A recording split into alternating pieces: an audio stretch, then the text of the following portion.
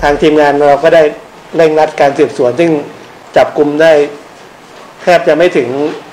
คนคนแรกเนี่ยแทบจะไม่ถึงสี่ห้าชั่วโมงนะครับ ส่วนคนที่สองนี่ไปไกลหน่อยไปถึงจังหวัดตราด เราก็ได้ตัวมาประมาณทุ่มหนึ่งเมื่อคืนละ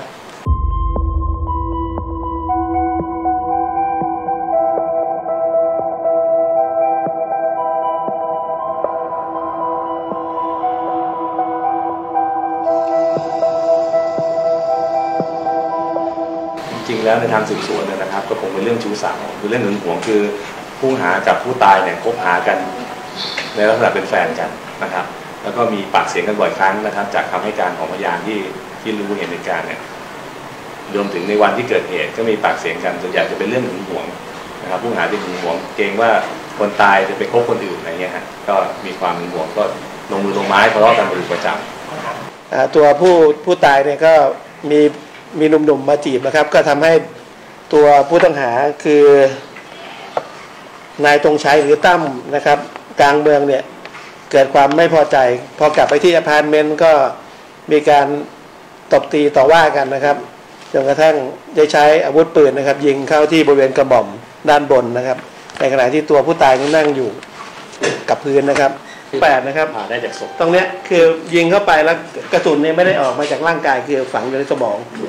หลังจากที่เราให้าทางแพทย์โรงพยาบาลชันสูตรพลิกศพก็ให้ผ่าออกมา ก็เป็นขนาดกระสุนจุดสามแปดนะครับ แล้วจากนั้นก็อุ้มอุ้มมาขึ้นรถจักรยานยนต์นะครับ มี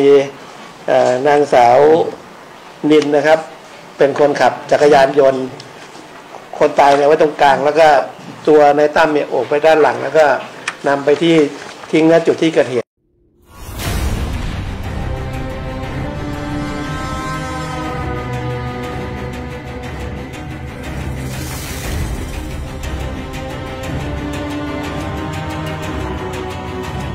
ก็ปรากฏตามกล้องวงจรปิด แล้วก็อ่าคำให้การหนึ่งสอดคล้องกันนะครับกับคำกับคำให้การของตัวผู้หาจุดที่ไปทิ้งอยู่ตรงตรงจุดไหน อ่าเชิงสะพานลำห้วยพระคือครับอ๋อใกล้ใกล้จากจุดที่เราพบศพเนี่ยห่างกันประมาณสักร้อยห้าสิบเมตรหลังจากก่อเหตุในตั้มกับนางสาวนินเขาแยกกันไหมครับทิ้งเสร็จแล้วก็แยกกันแยกกันหลบคหละนีทางแยกแยกกันหลบหนีครับตอนแรกก็ยังยังอยู่ในในพื้นที่แต่หลังจากมีข่าวว่าพบศพแล้วต่างคนต่างแยกย้ายกันหลบหนี